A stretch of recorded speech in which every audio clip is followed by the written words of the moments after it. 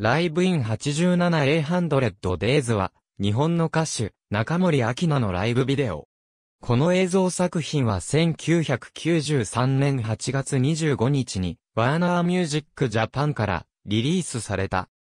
東京公演の会場となった新宿厚生年金会館ライブイン 87A100 Days は1987年に開催された中森の全国コンサートツアー A100 Days の1987年10月17日、新宿厚生年金会館でのライブの模様を収録したライブビデオである。この映像作品は中森がワーナーミュージックジャパンを離席した後の1993年8月25日に VHS とレーザーディスクの2形態で同時発売された。また、ライブビデオ、ライブイン88ファムファタールと同時発売となった。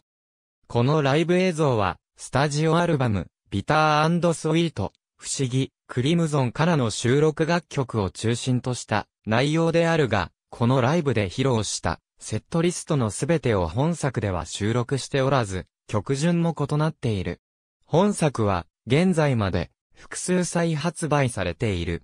A100 Days は、日本の歌手、中森明菜のコンサートツアー。